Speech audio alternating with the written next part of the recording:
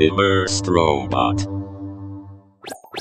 Hello everyone, welcome to Immersed Robot. So I'm back in No Man's Sky again and one of the things I've always wanted in this game is HOTAS support along with motion controller support.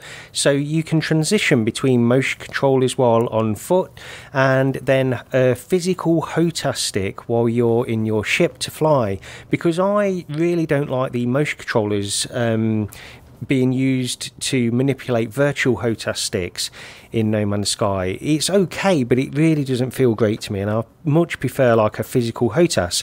Now, I know that there was a workaround to do this a while ago, but when I started to look into doing it um, a few months ago, it seemed that the workaround had actually um, stopped working. It had either been patched out or something had gone wrong anyway, and it was no longer possible.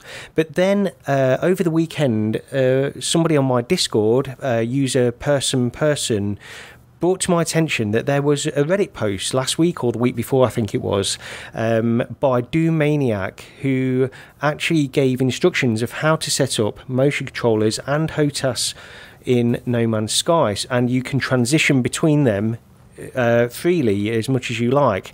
Now, it's actually not that complicated to set up. It just takes a little bit of tinkering in order to fine tune it. Um, at least that's what I'm finding here at the moment.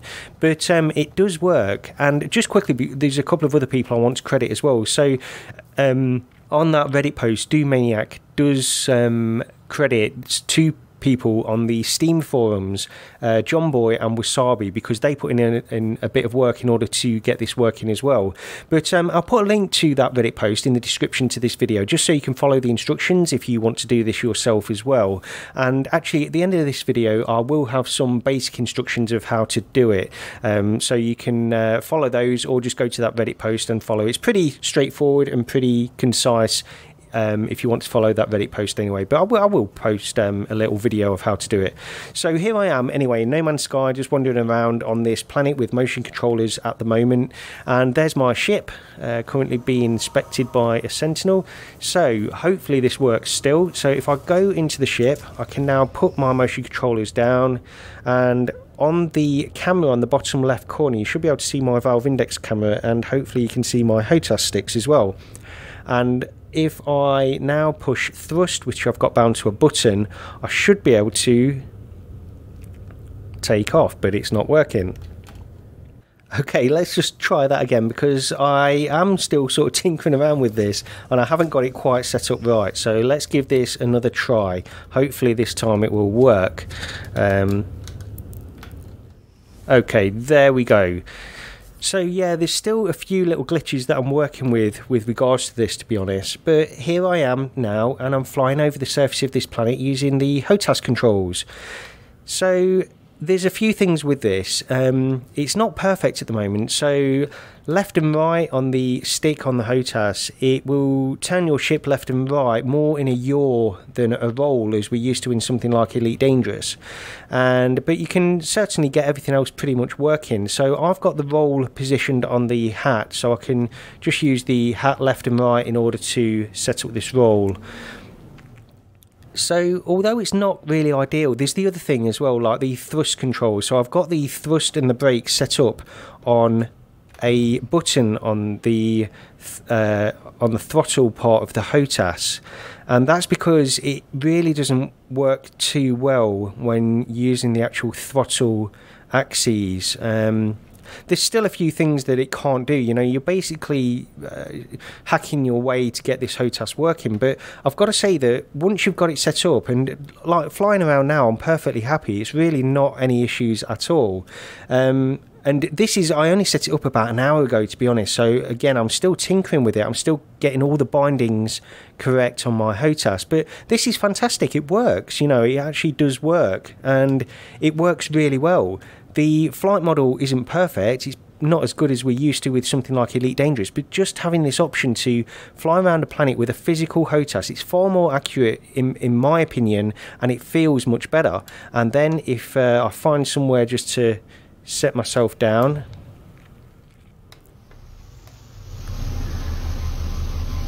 and then pick up the motion controls, and they are automatically activated once again. Get out the ship, and now once again we're out on foot using motion controllers in the same way that we have always done and it works really well. So I'm really impressed with this. There's still the the problem because whenever I'm in VR and I'm standing, I usually like to be standing. So this will require me to sort of get up from my seat where my HOTAS is, move over to a clear space, and then reset position each time.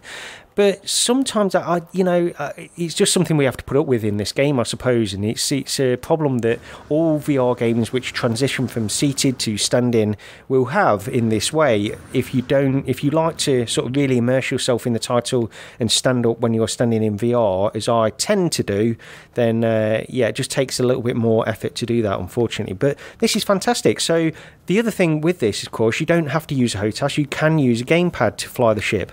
So if you're really not a fan of using that virtual HOTAS stick in No Man's Sky, then you've got various options to do here. You can use an Xbox controller or something like that while you're in your ship, and it will probably be easier. Well, it will definitely be easier to set up than uh, the HOTAS stick because getting the bindings absolutely right and things like that can be a little bit of effort, honestly. But um, yeah, that works really well. So I'll just transition now to another part of the video where I'll show you just very briefly how to set this up. And I'll only go through the basics and I'll leave it up to you to tinker. But um, yeah, we'll get into that now. Okay, so in order to get No Man's Sky to recognise your HOTAS stick, you need to start Steam first of all and make sure that your HOTAS stick is connected to Steam and recognised by Steam. So if you go up to uh, the menu bar at the top, click on Steam, then Settings, and then go down to Controller and General Controller Settings. Then this will bring up this display here. Now, as you can see, every um, connected game controller that I've got will be in these detected controllers at the bottom. And this is my Thrustmaster HOTAS X controller connected here. Recognises an Xbox One controller but that's because we've changed the uh, configuration. So if I click on that first then define layout then what we basically need to do is just assign each of the standard gamepad functions in No Man's Sky to a HOTAS button. Just bind each button individually depending on how you want to do it. Now there's a few issues with this. So for example, in No Man's Sky, in order to roll the ship, you have to use the left shoulder and right shoulder button but you can't assign it to an axis on your HOTAS stick, unfortunately. So what I've done, and this is what's recommended on that Reddit post actually as well, I think, um, they've assigned the hat position on the flight stick to left hat to roll left, and then the right hat position to roll right and that works pretty well for me as well in this game. But then it does create some kind of issues as well which you need to be aware of. Um, so for example in that taking that as an example for the left shoulder button right shoulder button assigning them to a hat position it means that in order to activate your pulse drive which is usually the left shoulder and right shoulder held down simultaneously that's obviously impossible with this configuration. You can't press you can't hold left and right hat at the same time. It won't work. So there's a few things that we need to sort out, and I'll go into that in just a second. This is a work in progress for me, so this is just uh, sort of what I've got working at the moment. But um, there's a few things that, that need to be rectified with this, and I'm still sort of fine tuning my setup. But that's basically what you need to do. And with that, that's pretty much good enough anyway. You can go in and try that with No Man's Sky anyway. But just for one other little section, let's just um, confirm that and then we'll close that down.